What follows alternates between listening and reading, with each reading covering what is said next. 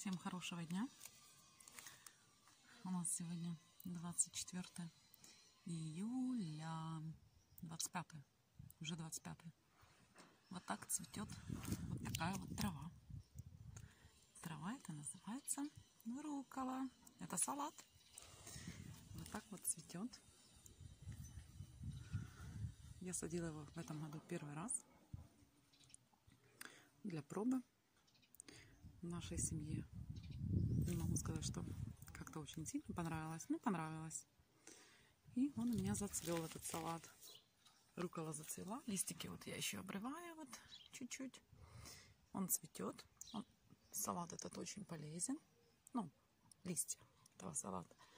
Вот так вот семенные коробочки образуются. Соберем семена и будем потом сеять свою руколу своих семян. Такие вот листики. Такие вот. Так что, так, не зашел нам, еще сеяли. О, как он называется? Не щавель. Шпинат. Шпинат вообще как-то он никому не понравился. Он у нас сразу почему-то э, выбросил цвет. Ну, листики были, но очень мало. И как-то он нашей семье не зашел. Сеять мы его не будем. А вот рукола. Вот такой вот маленький рядочек. Я думала, он не взойдет, потому что я очень глубоко посеяла ее. Руколу. Ну, это ж салат. Значит, он.